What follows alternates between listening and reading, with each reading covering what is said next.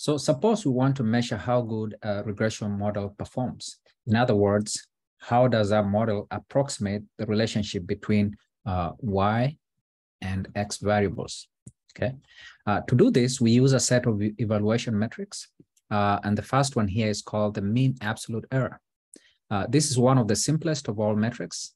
Um, and by definition, it's measured by taking the average of the absolute differences. Okay, sometimes we call this the absolute error. This absolute error is also called the L1 loss, okay, between the actual values and the prediction.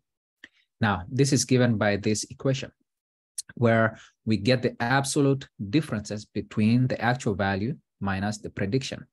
We call this y hat y. Okay. Uh, then we get the summation of all these across our data set divided by the number of samples. So this is just the number of sample. Uh, and then we get the mean absolute error. Okay.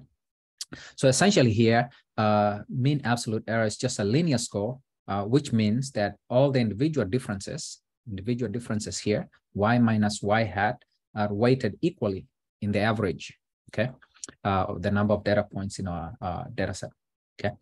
Uh, one thing to note when using mean absolute error is that it's probably is not a good metric when you have a lot of outliers, okay. So when you have the presence of or rather when uh, outliers are prominent, uh, then the performance might not be uh, very good. So you might want to do some data pre-processing there. Okay.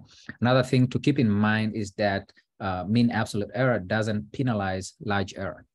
Okay. Now in Weka, we can see that in the result window, I just ran a linear regression uh, model here on our Boston housing dataset. Uh, you can see here the summary here. We can see we have mean absolute error.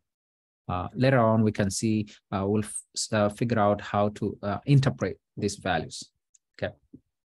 Now for our next, um, so for our next metric, we're gonna be looking at mean squared error.